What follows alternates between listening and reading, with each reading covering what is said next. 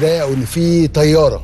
فإحنا عايزين كلمة أخيرة للعباقرة قبل ما حضرتك تسيبنا في الاستوديو النهارده. طبعا كلمة أخيرة بقول لهم يعني أنتوا عاملين حالة في مصر وعاملين حالة في الشباب وبصراحة كنت أتمنى أبقى المو... العباقرة ده يتم من 35 سنة مثلا علشان أكون ممكن أكون واحد من الناس لا اللي هنعمل ده- ده- العائلات لا تنورنا. المعاش بقى. ممكن ابقى عباقرة اللي فوق المعاش يعني.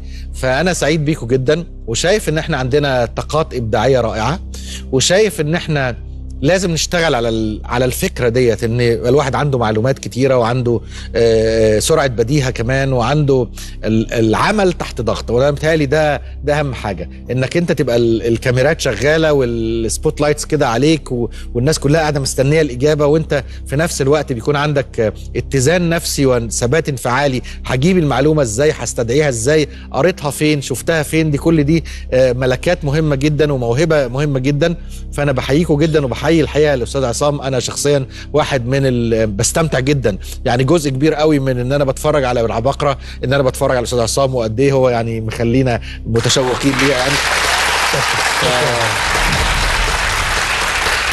هم الحقيقة بيساعدوني. يعني هم دمهم خفيف وروحهم حلوة والإجابات عندهم وحتى لما يخمنوا بيضحكوا وبيهزروا. هم الحقيقة اللي عاملين الأداء العظيم ده جاي بمساعدتهم مش مني أنا بصراحة.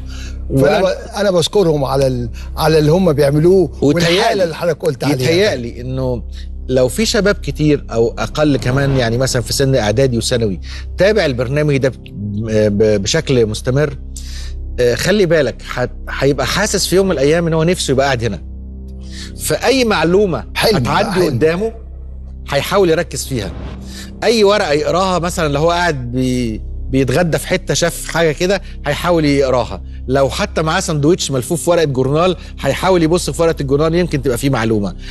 الحالة اللي بتحصل دي دلوقتي ممكن جدا ترفع المستوى الثقافي لأن هتخلي الناس من من دلوقتي تستعد ويقول لك إيه استعد اليوم ممكن تبقى قاعد القعدة دي وتتسأل سؤال فربما المعلومة دي هي اللي تحل لك المشكلة. فأنتوا بتعملوا حاجة كبيرة قوي مش مسألة بس منافسة أنتوا ممكن تكونوا بتاخدوا الأمة كلها إلى مستوى ثقافي تاني آخر خالص.